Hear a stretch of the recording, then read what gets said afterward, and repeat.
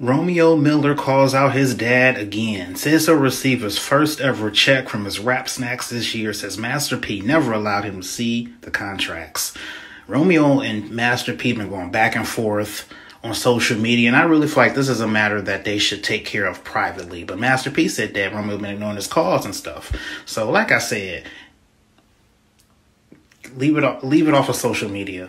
SZA earns her first number one album of her career with SOS clinching that top spot on the Billboard 200. Now, this is a no brainer here, but I think it's just really interesting. People keep, when they're, they're, reporting like SZA officially earns the first number one album of her career, like she's been releasing albums for 30 years. Now, I know she had some EPs before this, but this is her second proper album, so I mean, but it's not a surprise here. I knew it was to be number one.